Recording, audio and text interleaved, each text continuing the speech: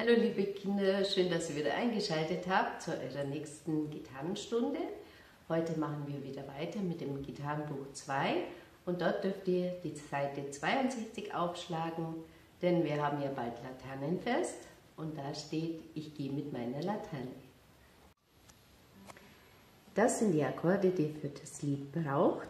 Einmal das D, den Zeigefinger auf die G-Seite im zweiten Bund, den Mittelfinger auf die E-Seite im zweiten Bund und den Ringfinger auf die B-Seite im dritten Bund. Und spielen darfst du ab der D-Seite. Dann brauchen wir noch das A, Zeigefinger im zweiten Bund auf der D-Seite, Mittelfinger auf der G-Seite im zweiten Bund und den Ringfinger auf der B-Seite im zweiten Bund und du spielst ab der A-Seite. Es hat gescheppert. Nochmal. Genau. Das ist die Begleitung für das Laternenlied. Es handelt sich hierbei um einen Dreivierteltakt, das heißt, du hast einen Bass und streifst dann zweimal nach unten. Also bei D, die D-Seite als Bass, Bass, down, down, Bass, down, down. Und beim A, die A-Seite als Bass und wieder dasselbe Spiel. Bass,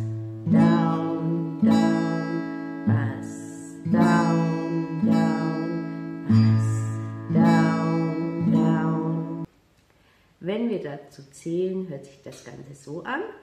Eins, zwei, drei, eins, zwei, drei, eins, zwei, drei, eins, zwei, drei, eins, zwei,